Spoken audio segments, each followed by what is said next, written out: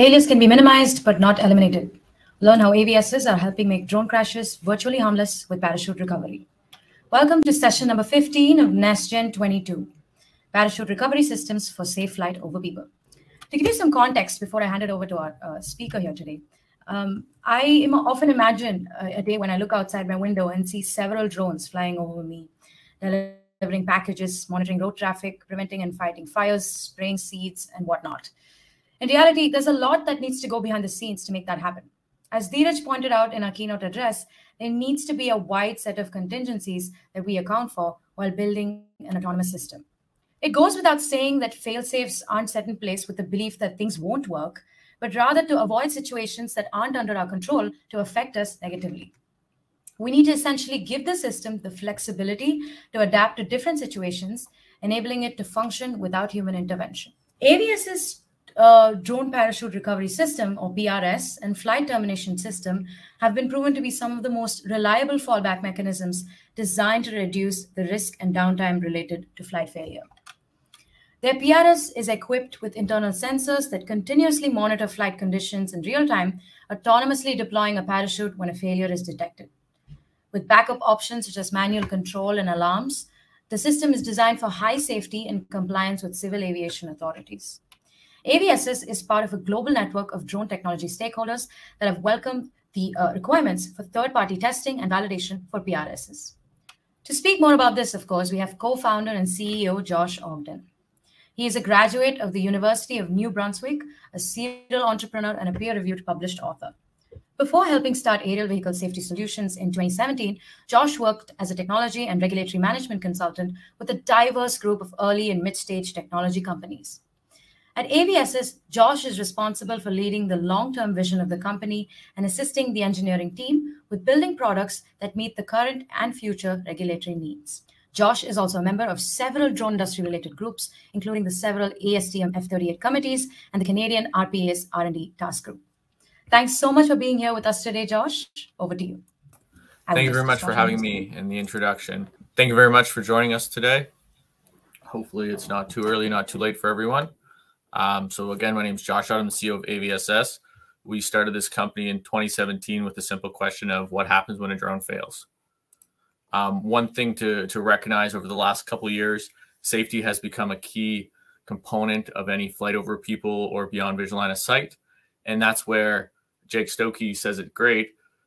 The drone pa parachute revolution is here. And why? Because of safety. Regulators want an environment where safety is considered and there's redundancy systems built in. And today's session. So, Today, we'll be just doing a brief overview about AVSS. We're going to discuss why we would use a parachute, and then we're going to go into key features of a parachute. From there, we're going to end with going into some practical but nitty gritty insight of the parachute recovery systems in some different markets, such as uh, the United States and Europe. Um, so, about AVSS. AVSS started in 2017 and is now a global distributor of parachute recovery systems. We have more than 50 authorized dealers selling our product across the world. Um, we are also, uh, our product is compliant with the third party standard ASTM F3322. This is a compulsory test for flight over people in many of the countries, and this requires crashing a drone 45 times to demonstrate the performance of the system. We've done three ASTMs, and we've actually got three more scheduled for the spring. I think by then we'll have the most ASTMs completed in the world. Some of our customers who are using our product to enable more are telecom providers, construction companies, and public safety as well. We have a host of high-end dealers such as Adorama Global Flight, RMUS, and Advexure selling our product.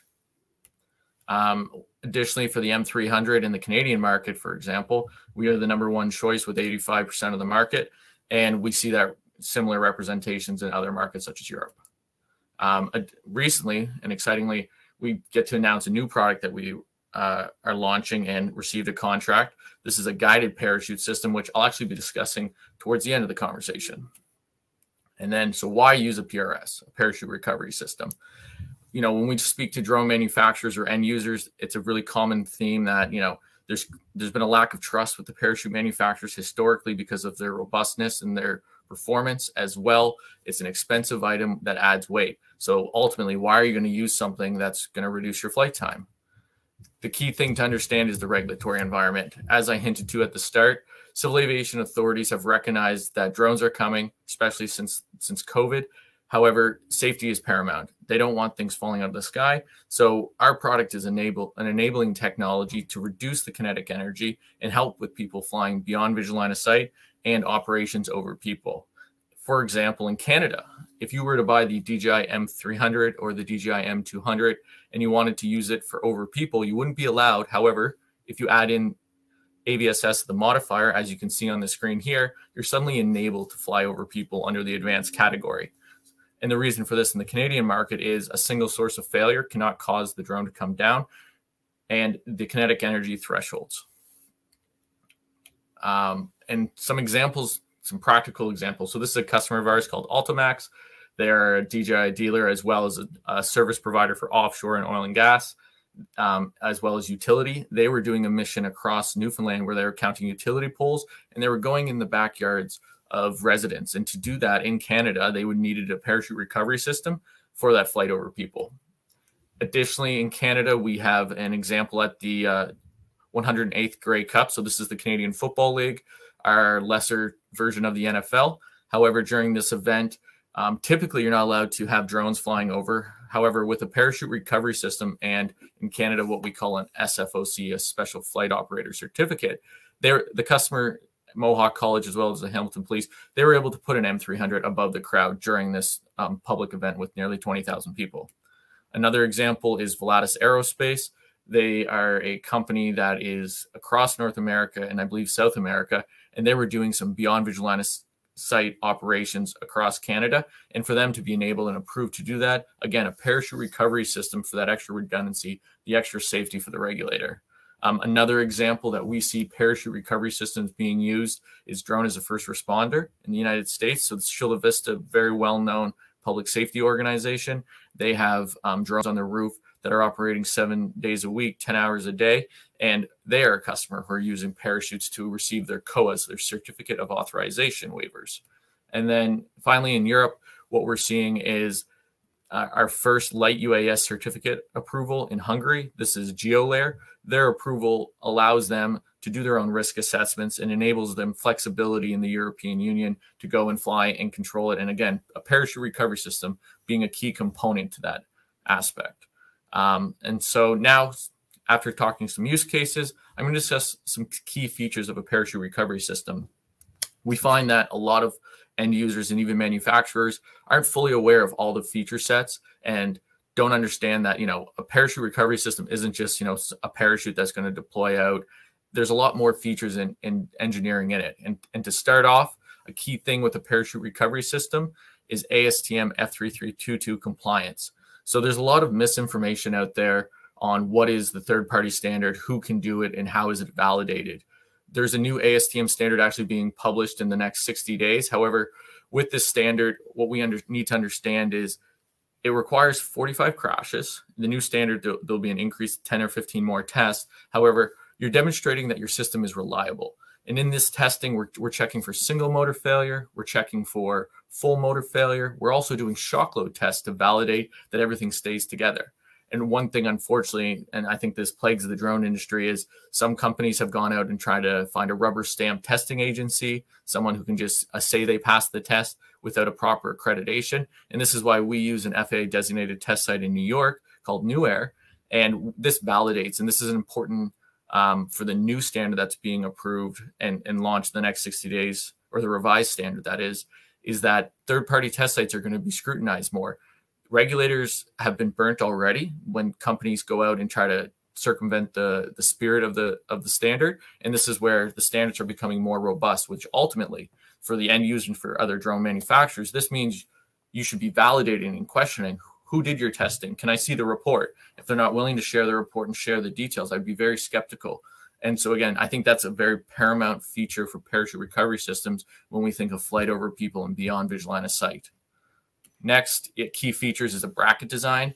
One thing that we grapple with as a parachute recovery system company is we're not the primary. We're you know we're somewhat second class citizens, and because of that, we want to make sure that we're out of the way of the key sensor. So if you have a top payload for the M300, you know let's not use that real estate. Let's give that to you. However, your your bracket needs to be strong enough to handle an opening shock test. So during the third party testing, you need to actually drop the drone for, for three seconds. It's going to approach terminal velocity The parachute's going to open. There's going to be a lot of opening shock. And so if you don't design your bracket appropriately, it's not going to work. Additionally, you need to think about the end user.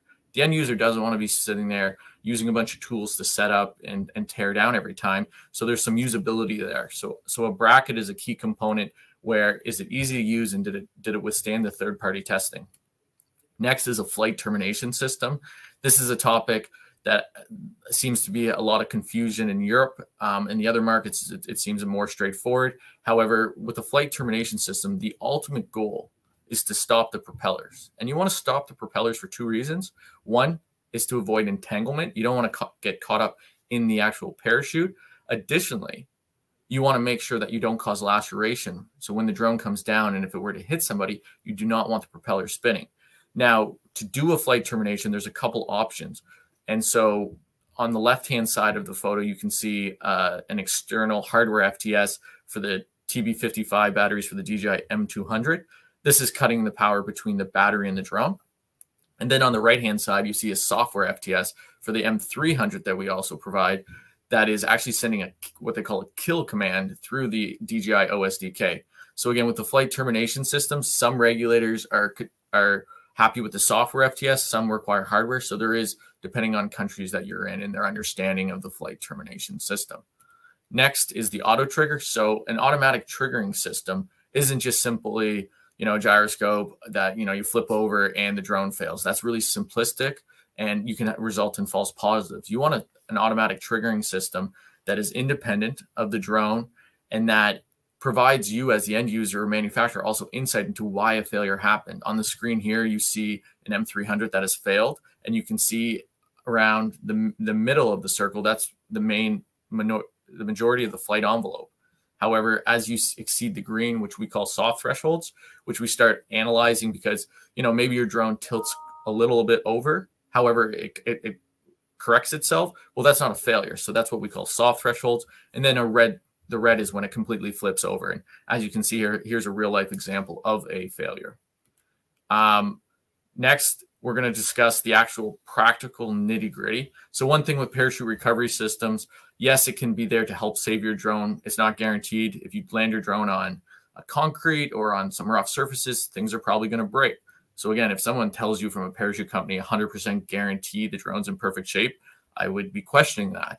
Um, but there is some really nitty gritty details that I'll be discussing for each country and looking at, you know, what does it actually mean? So to start off in the FAA, so the USA, there's a lot of confusion on how you get to flight over people. The rules were implemented and we're starting to see progression under the Part 107 rules, but we're not quite there yet because of category two and three um, requirements. And that first requirements is means of compliance, which no no means of compliance has been approved yet that involves a parachute recovery system for flight over people. We've got one submitted, our own custom means compliance. That'll be, we believe it's three to nine months away. I'm waiting on the FAA, and I believe they were waiting on the new third party standard. But a, a key thing to understand is in the United States, it isn't 11 foot pound or 25 foot pound of kinetic energy. It's the severity comparison. And that's something that I think a lot of people miss. You're not looking in like Canada and Europe where you're doing a kinetic energy formula what's your descent rate, what's the mass of the object, and typically around you know 60, 70 joules, which is you know around 50 foot pound. But in the United States, is we actually have to do additional testing, which we call ATD testing, for the comparison injury to a rigid object. So what you see here is um, some screenshots of our ATD testing system. And what it is is you're taking the drone, it, you're sending it into the ATD the crash test dummy. You're looking at the data on what injuries, you know, neck compression, for example, occurred. And then on the right, you have a rigid object, which has certain specs that you have to meet. And you're looking at what were the injury comparisons. And if the injury of the drone were less than the injuries of the rigid object under either CAT 2 or CAT 3, you are then compliant. And there's a couple more steps to do. But ultimately, this is the key point for the means of compliance. And so if I'm a drone manufacturer, not only am I looking at the descent rates, I'm also looking at well, what, what's my drone made out of, and what's you know plastic versus metal. So what am I going to create for injuries? And this is something that you know the U.S. is leading on and is more robust than other countries, which does add additional costs, but it, it gives you initial insight into your drone. Um, next is for the D&R durability and reliability testing. So in the United States, there's four categories: category one, two, three, and four. I just spoke about category two and three. Category one is for smaller drones, but then there's category four. This is a rather um, new development in the United States when they originally launched the rules for flight over people. This wasn't included, but once they received comments during the uh, notice period, they did actually introduce a category four. This is for type certification. So the philosophy around type certification is if you have more data on the reliability of a system, your drone, for example, and you meet certain flight hours, the severity of injury is allowed to be higher because the likelihood is less. And this is where category four comes in and, and something that's quite often overlooked by drone manufacturers who are entering into the type cert world is that a parachute recovery system can actually reduce your time to market. So as you can see on the two columns on the left-hand side, your hours, for example, if you want to fly in a rural area is 375. But if you want to fly with a parachute system that's ASTM approved and the kinetic energy is less than 128 foot pound or 170 joules, you can actually reduce it from 375 to 150 hours. And another example is, you know, in San Francisco, which is we would say a, a population density of 20,000 per square mile, you're going from 7,200 flight hours to 3,600, which is a considerable saving when you consider what that per hour cost is. And again, this is something that's quite overlooked by a lot of drone manufacturers just because of the process to get into the actual durability and reliability testing. Next, in Europe, so with Europe, why does a parachute and flight termination system matter? Well, for PDRAs, the predefined risk assessments under the specific category. And one thing that's required, for example, near airports is you need a flight termination system so that your drone doesn't leave your operational area. But you also need a parachute for human factors. So one thing that that you know we believe is, is quite clever and and quite um, intelligent by the European Union was they recognize that you know some pilots don't want to just have their drone fall out of the sky because it's leaving the area. They might they might hesitate, they might delay. So they included that parachute system to provide, you know, well, at least you might not lose your complete drone. Now that's not guaranteed. As I said, you know, during third party testing, we see, you know, half the drones come out with no damage and then, you know, 40% with some damage. And, you know, you're going to lose a couple drones during these 45 crashes. However, the regulators recognize that maybe it will help these end users be more inclined to make sure their drone doesn't leave that operational environment. Next is ground ground uh, risk class. So this is where I'm excited to talk about our new product that we've been working on. So when you're flying your drone and using a SORA application, there's a ground risk buffer rule. And right now the rule is a one to one. From our third party testing and data collected, that actually isn't accurate. It's it's more of a one to two, which means if you're at 100 meters, you should anticipate almost almost a 200 meter drift with you know a parachute that can't be guided. And so we've actually got real life examples where during our third party testing for the M200, you know, as you can see on the right, we were at 120 meters. And when we deployed, it exceeded it drifted to 197 meters. So what that means is if you're flying BVLOS over people, you should be accounting for this as well. We're recognizing that the JARUS rules need to be updated for the one-to-one rule with unguided parachute systems. But then comes the question on what happens if you could guide it? And that's where our announcement on our recent contract with Indigenous Services Canada and Transport Canada for our guided parachutes is an exciting part because we'll be launching later this year a new product where we can actually control where the parachute drifts after deployment. So, what does that mean? That means you can control your ground risk buffer zone and reduce it. So, in the green is an example of us being able to control it a 1 to 0.5. So, if I'm at 100 meters, being able to control it within 50 meters which is a huge opportunity when we look at the drone delivery market for urban cores. Um, for example, this is an example in Japan of a drone delivery route um, that 7 is doing that they announced in December. And when you take a look, the red is the true uh, drift area that if you were to use a unguided parachute, it deploys. This is how far it could drift out to. But the, the yellow is the RS rule, which again, we don't agree with because of data supporting that it will drift farther. And green is the new guided parachute system that we've developed. So we believe that this is an example of an evolution in the drone industry that we're going to be seeing. Um, and we've seen EASA talk about steerable parachutes for larger system, and we think that this is going to become status quo in the drone industry.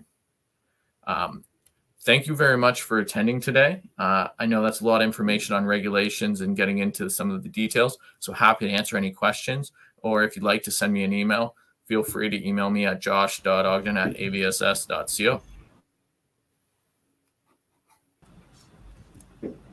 Great. Thank you so much for that. Yeah, that was quite a lot of information yeah, thrown our way. So let's just wait for a couple minutes. Um, I guess our audience would like to ask a few questions. We have a few uh, on our social media channels and on Discord. But I'll just wait for a little bit longer in case people want to ask questions. Until Perfect. then, oh. I And I'm just going to throw up a video here. Great. Yeah, that would be great. and I can show our new our, our guided parachute system. So here's an example of us doing some drops. So again, our use case for this technology um, initially we'll be doing medical delivery in northern Canada. Um, this is an area where it's hard to reach. There's no available infrastructure for existing drone delivery. So they want a system that can do uh, critical medical supplies uh, without having to invest in the expensive infrastructure. So this is giving them an option and showing some landing accuracy of, of uh, critical items. This also has applications for wildfire, for um, military, and other applications. Interesting. And the Sorry, reason actually for this development was starting in 2018, we started noticing our drones were drifting into trees and power lines, and we wanted to reduce that risk. And so we started working on the control algorithms that autonomously direct the system straight to a predefined GPS point. And again, I can just replay that video out. If there's any questions, feel free to put it into the chat. Happy to answer. Or again, you can email me at josh.ogden at avss.co.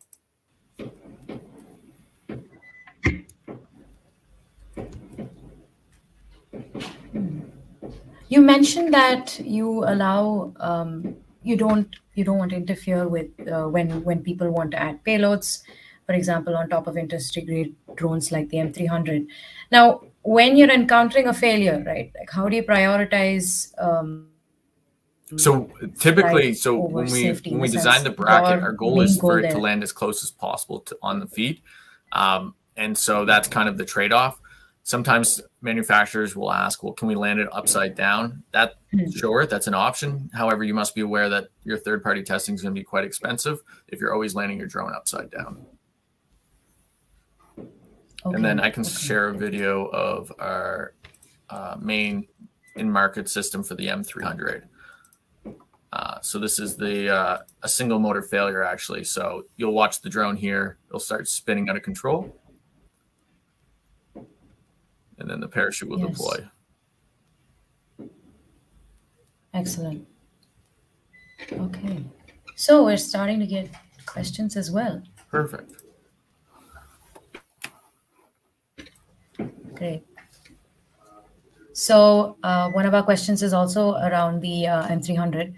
They've asked how much weight and height do your solutions add to a drone, like the So the weight is 900 grams. You're going to lose about 10 to 15 percent of your flight time, as well as height. I assume you mean minimum deployment altitude. So that's an interesting topic that um, our system has worked at 15 meters. However, the third-party testing um, standard has a requirement for a minimum deployment altitude calculation, which is based on your outlier. So if you do 45 tests, you get your average kinetic energy, your descent rate. However, for minimum deployment altitude, whether it's hover or full forward, you look for your outlier, which then set rates your minimum deployment altitude.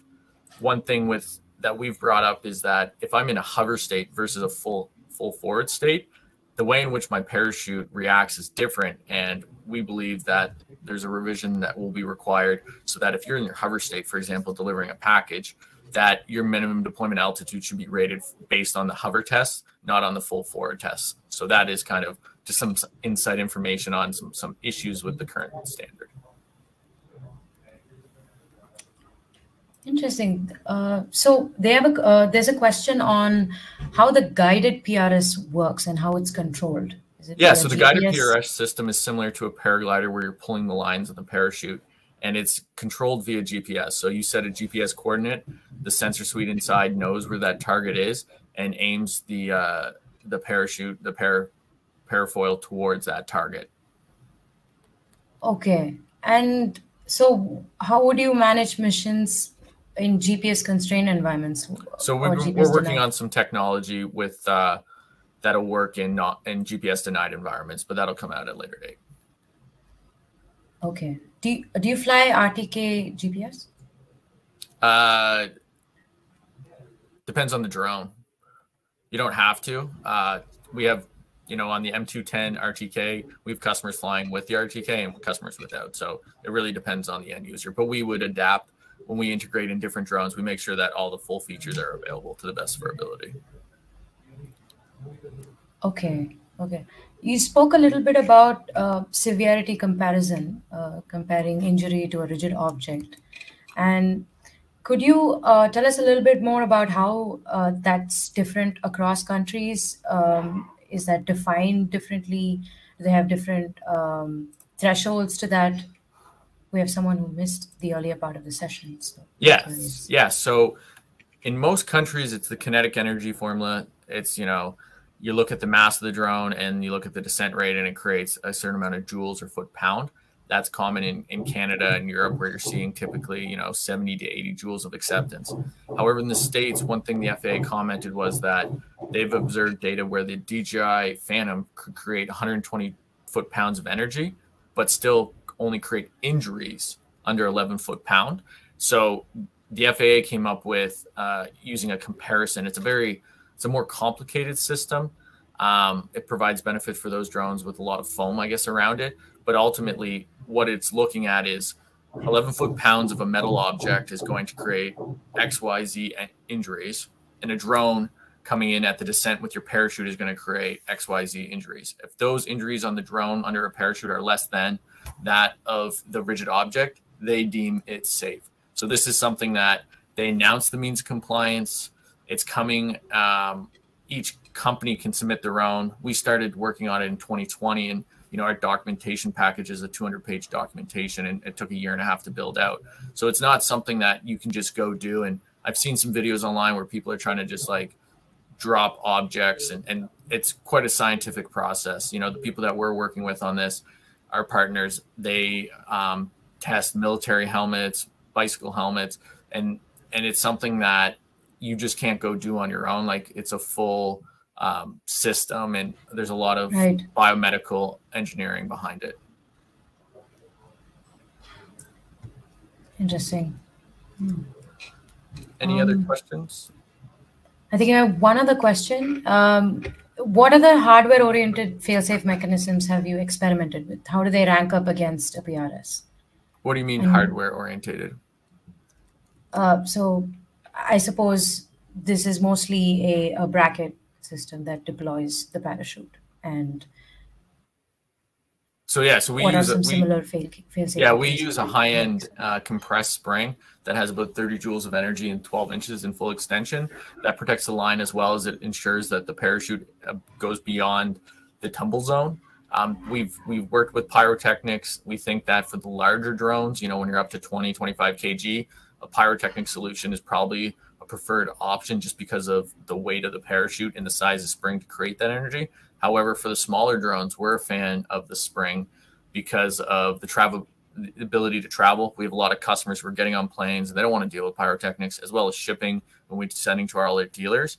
So, you know, when you see a pyrotechnic solution, I, I would say that's more favored for like, you know, 20, 25 kg, maybe beyond visual line of sight kind of drone delivery applications. But if you're looking at end users who need to get up and go, like the M300 or work tool, you don't like a pyrotechnic just adds complexity to your life. And your life's complicated enough with all your batteries. So we don't think you need to add more problems by using a pyro for the smaller drones. Okay. And what about a buoyancy option in, in addition to the PRS system? Have you considered that? Yeah, we've looked at airbag type solutions. The problem with that is drones are very weight sensitive. You don't want to add too much weight to anything. And so it would be a nice to have, but the frequency in which you use your parachute, hopefully never to add that extra uh, additional weight it, it's something that can be considered. And, you know, if someone really wanted it, we could entertain it. But it's something that I think at the end of the day, it's nice in theory, but when you look at the cost and the weight of the system, you would be kind of saying, well, do I really need that? It's it's kind of a it's a nice to have, I would say, and, and not in most cases. Right. Okay.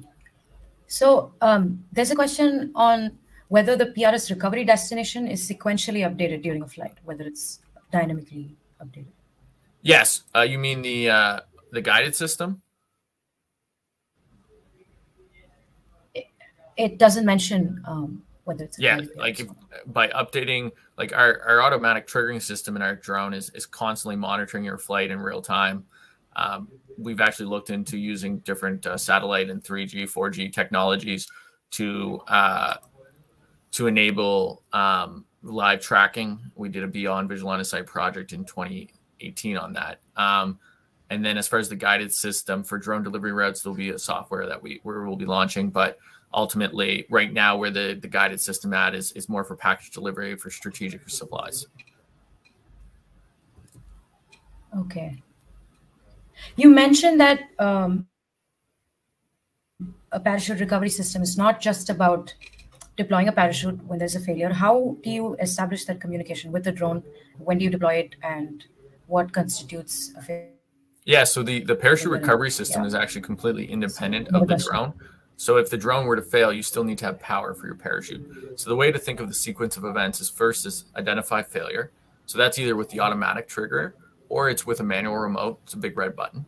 Then you want to kill the power through the flight termination system. So again, you either interrupt the power between the battery and the drone, or you send a command through the flight controller to the uh, motors to stop spinning. Um, for the OSDK, for example, that's a kill command and then you deploy the parachute. Um, so there's there's a couple right. sequence of events to ultimately deploy a parachute system. And so, for example, when we work with drone manufacturers, they're directly involved with tuning the auto trigger and giving us feedback, supplying us with flight data, because ultimately they're going to know their drone and they're going to know their max angles better um, than than anyone else, and they'll have the data to support it. And those are kind of some examples of how we make sure that the auto trigger is, is as robust as possible. Okay. And what kind of drones do you support? Uh, so, so right now we've worked on drones from one kilogram up to 80 kilograms. Uh, we've worked on vertical takeoff landing. Uh, we've worked on multi rotors.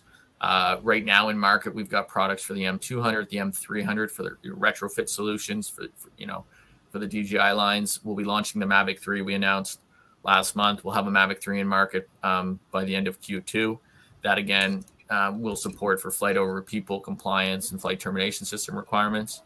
And then we work with different drone manufacturers. Um, I can't disclose all of them, but you know, for example, Workhorse, we did an ASTM perfect 45 out of 45 um, with them in April, and they're doing things for drone delivery and, and surveying. Interesting. Okay, great. So I suppose those are all of our questions that we have for today. Um, yeah. So uh, for anybody who's joining just now, if you have any more questions, you can visit uh, yeah the AVSS booth or you can email Josh, as you said. If you could repeat your email ID, please, for everybody. Yes, I'll put it right into the chat. So my email is josh.ogden at avss. Great. And he's also active on LinkedIn. Yeah, great. So he's also active on LinkedIn, I believe. And we can also they can also connect with you on over on LinkedIn. Yes, exactly. I'm very active on LinkedIn, right? spamming everybody. Right. Perfect. Well, thank you very much for having me and look forward to hearing from others. Great. Likewise. Yeah. Thank you so much for joining us. Bye now. Bye.